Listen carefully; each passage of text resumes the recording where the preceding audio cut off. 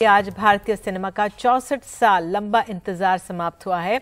Oscar में भारत को, भारत का जलवा दिखा है। भारत को आज दो ऑस्कर अवार्ड मिले। पहला award best original song category में फ़िल्म आरआरआर के गाने नाटू नाटू को मिला है, जिसे गाया है राहुल। सिपली गुंज और काल भैरव ने और कोरियोग्राफ किया है प्रेम रक्षित ने। फ़िल्म में एम एम कीरवानी का संगीत है, जो उसके निर्देशक किया है राजामौली ने।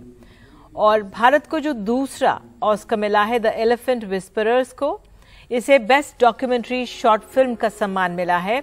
ये फ़िल्म को भारतीय फ़िल्म निर्माता इस फ़िल्म को गुनीत मोंगा ने बनाया है और इसका निर्देशक कार्तिकी गुंजाल्विस ने किया है। द एलिफेंट विस्परर्स एक नेटफ्लिक्स डॉक्यूमेंट्री है, जो एक अकेले छोड़े गए हाथी और उसकी देखभाल करने वालों के बीच अटूट बंधन की बात करती है।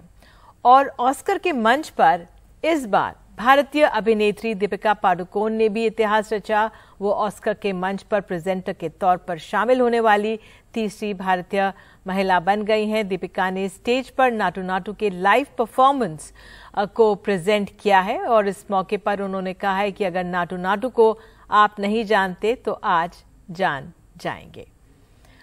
और हमारे साथ एक खास मेहमान जुड़ने वाले हैं, एडवर्ड सोनन ब्लिक। ये अभिनेता आरआरआर के, ये अमेरिकन एक्टर हैं, लेकिन इन्होंने कई भारतीय फ़िल्में और टीवी शोज़ में काम किया है।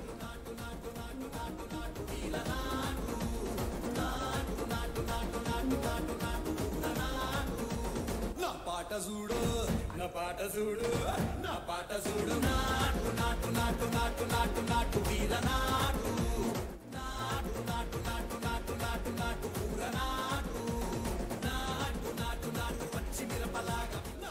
చూడు నా పాట చూడు నాటు నాటు నాటు నాటు నాటు నాటు నీల నాటు నాటు నాటు నాటు నాటు నాటు నాటు పూర నాటు నా పాట చూడు నా పాట చూడు నా పాట చూడు నాటు నాటు నాటు నాటు నాటు నాటు